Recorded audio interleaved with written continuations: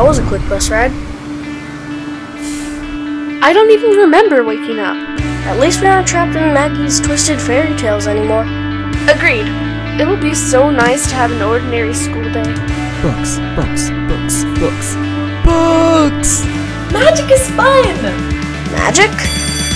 Welcome to Practical Magic class. Today we will learn how to use our wand. Something feels off.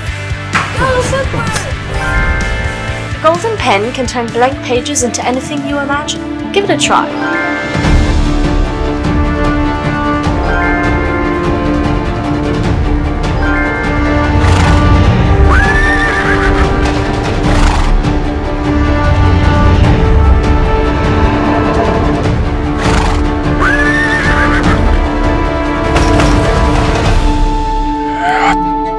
Now that's what I call practical magic.